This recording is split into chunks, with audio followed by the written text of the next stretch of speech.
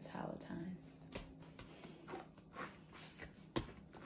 Just finishing out kneading that dough.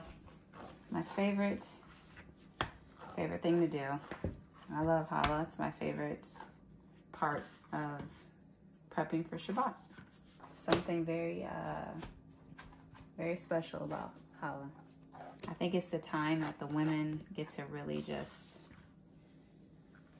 have that spiritual time with, with Hashem and with just things that's going on. I feel like for me, it's very therapeutic and it's a spiritual moment for me to, I thank Hashem, I pray for people while um, doing my challah.